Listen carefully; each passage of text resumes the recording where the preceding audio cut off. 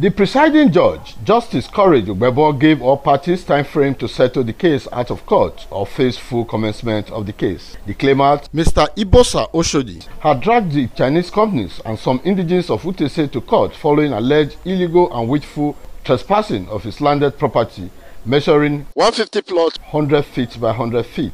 The issue, which has been at the High Court for a while, was at the time appropriate to enable all parties settle the issue out of court.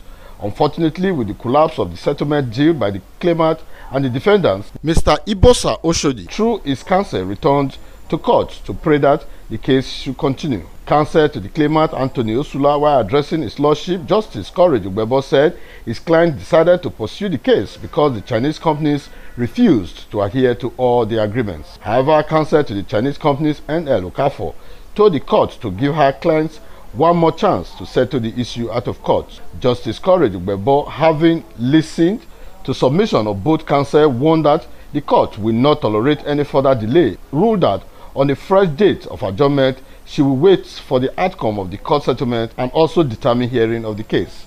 Counsel to the claimant, Anthony Osula, expressed satisfaction over the ruling of the judge, believing that the issue will be resolved, otherwise they are ready for the case. We believe that uh, uh, uh, uh, the court is the last hope of the common man.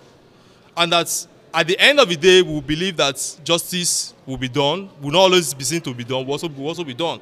And we are not happy that a foreign company operating in Nigeria is stepping on the toes of indigenous persons.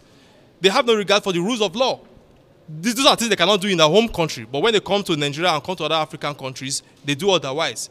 But we believe that our own case is a novel one and, it will come out eventually with a difference. A Efosa Wangwe reporting.